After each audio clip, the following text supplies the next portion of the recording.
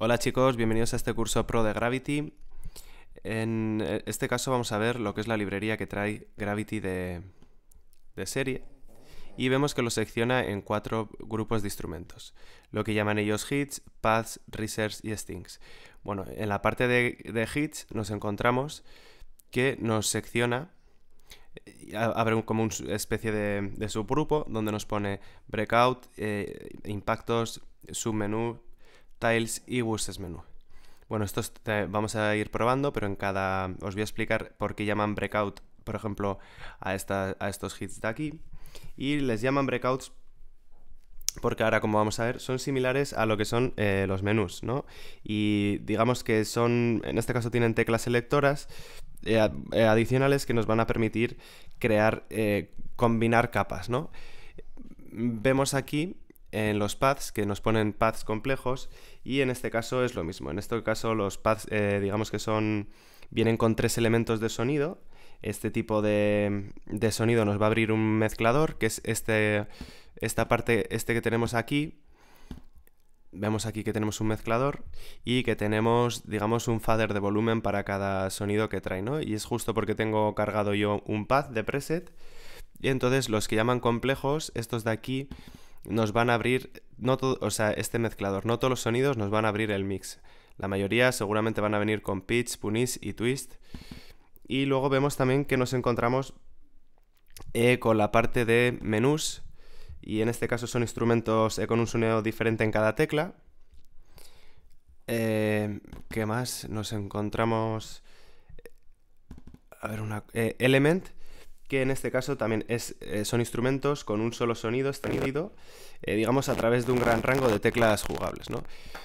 Entonces, em, mira, yo por ejemplo tengo cargado este, este preset de un path, vamos a, vamos a escucharlo, vamos a escucharlo de aquí.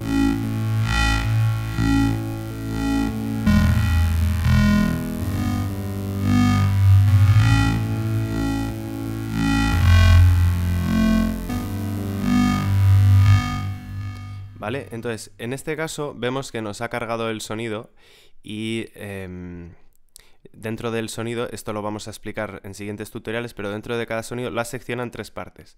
Pues si yo, por ejemplo, cargo en vez de un path, vamos a cargar un hit y vamos a cargar, por ejemplo, este, eh, impacto menú, vemos que en esta parte de aquí no nos carga un mezclador, ¿vale? Porque este es otro tipo de... En este caso, si lo, si lo escuchamos...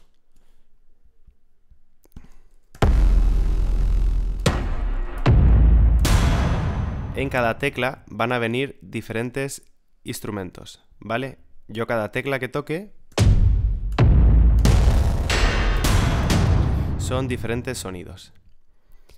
Y si cargamos, por ejemplo, en vez de eh, impacto menú, vamos a cargar lo que es el breakout, aquí vemos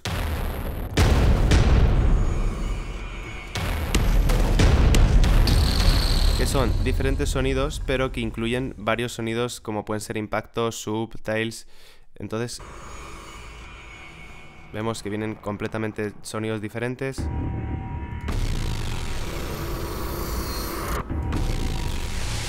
Y aquí exactamente lo mismo, como expliqué en la presentación del vídeo, en los sonidos complejos vemos que tenemos aquí tres canales y aquí en los impactos y tanto los menús breakout nos salen, perdón, solamente digamos que un, canal. Vale, y si queremos cargar, porque veáis otro ejemplo, si queremos cargar, por ejemplo, un... Vamos a cargar un Stings, por ejemplo, para que lo veáis. Y voy a coger, bueno, da igual, por ejemplo, este de aquí. Vamos a cargarle.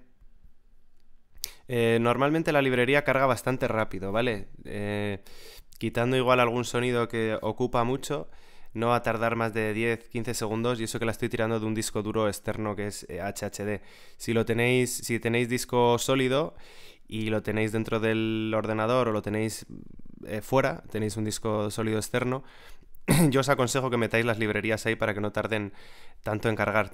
No va a tardar muchísimo tampoco, ¿no? Pero bueno, pero para adelantar trabajo, para ganar tiempo. Vale, y vemos lo mismo que si cargamos esta sección de aquí, nos carga exactamente lo mismo, nos carga sample, nos carga la parte de punish, nos carga la parte de twist, pero se olvidan del mezclador porque es solamente un solo sonido.